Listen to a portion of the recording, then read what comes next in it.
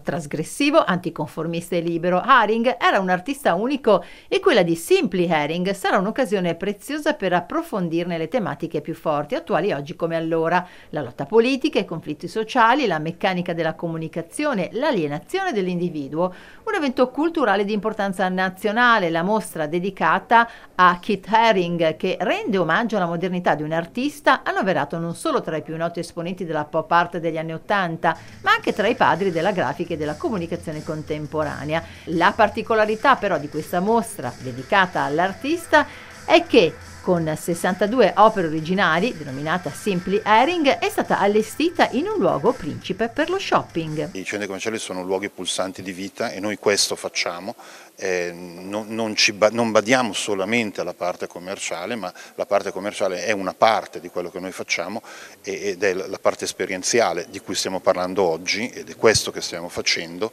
Stiamo costruendo un'esperienza per i nostri visitatori e anche per le scuole che verranno, un'esperienza che speriamo, anzi sono, sono convinto, eh, porterà molta gente a vedere l'arte contemporanea in un altro modo, ma anche i centri commerciali in un altro modo. Come ulteriore servizio all'ingresso i visitatori potranno accedere alle audioguide e utilizzare i QR code a fianco delle opere. Il nostro intento è quello ovviamente di far vedere, far eh, percepire l'arte a più persone possibili al di fuori delle, de, de, delle istituzioni, cioè del, de, dei musei stessi, in modo tale che non debbano pagare un biglietto ma che possano in, in luoghi di incontro eh, riuscire a ricevere arte, a ricevere cultura e quindi a interessarsi sempre di più anche per le giovani generazioni a questi temi che ad esempio esempio Keith Haring eh, come artista contemporaneo riesce a trasmettere in maniera molto semplice, diretta e, e quindi è estremamente importante anche perché sono